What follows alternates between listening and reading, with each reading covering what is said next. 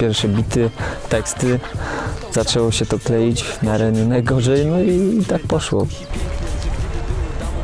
W sumie widzieliśmy się trzy razy podczas produkcji tego albumu. Dwa razy na wymyślaniu pewnych pomysłów, e, poszukiwaniu muzyki i trzeci raz spotkaliśmy się w studiu. Mieliśmy na początku zrobić jeden kawałek. Szczegółów to już naprawdę nie pamiętam i, i wyszło to tak, że nagraliśmy, zrobiliśmy całą płytę.